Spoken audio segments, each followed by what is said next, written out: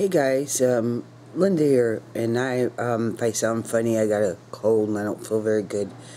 Um, in Leith, North Dakota, um, which is um, actually in the treaties for Native Americans, I, I'm sure most of you know this neo-Nazi socialist white supremacist group set up camp, and the Indians put out a call for people to unite and to protest against this because it is in their, their treaty territory.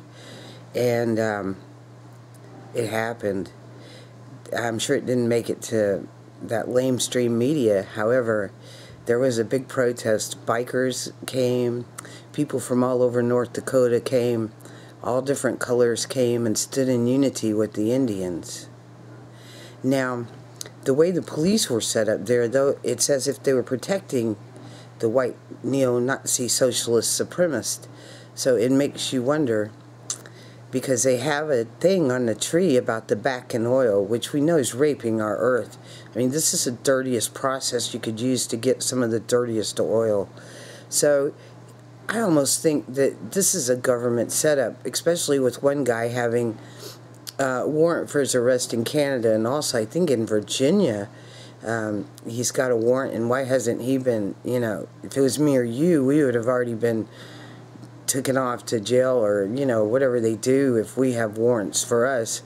So, you know, here's my question. I'm going to leave the link below, and I, would like you guys to watch the video, but um, because there's a little video, and this is not by a Native American. This is just someone who was there against them. Um, but uh, the my question is, is because they have this little Bakken oil sign up there and uh, stuff, which would make them, I don't know, almost probably sponsored by the government to go be agitators so that this dirty oil can run through there. We all know that there's free energy out there. So anyway, just that's my my thought on this because um, this guy Cobb or something has warrants for his arrest, you know, in our country and in Canada. So, and the police are guarding them pretty tightly, and the protests did continue, and, they let the Indians lead the way. The first, I mean, that was just awesome, and and people of every color and the bikers, like I said, uh, supported them, and it was actually very a very big protest in North Dakota, which probably didn't make the news.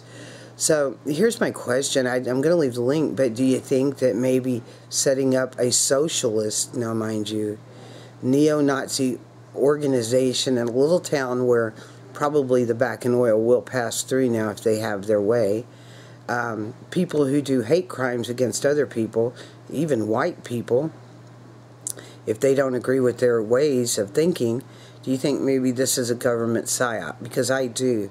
Seeing with them putting Bakken oil stuff signs up saying the oil needs to, it would create jobs. Actually, it doesn't create very many jobs, and the jobs it creates will kill you anyway from the, the contaminants to get this Bakken oil out.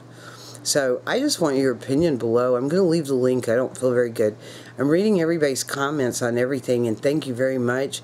I just don't feel like writing or anything. I kind of like just sleeping and try to kill this bug I have. Um, but I do love you all, and I'm going to leave the link below, and there's a little video. Peace, love, and truth to everybody. And I hope you have a good day. But I'm, I'm really proud of everybody who came together and supported the Native Americans because now they are uniting. And this is not just happening in Leith, it's happening everywhere.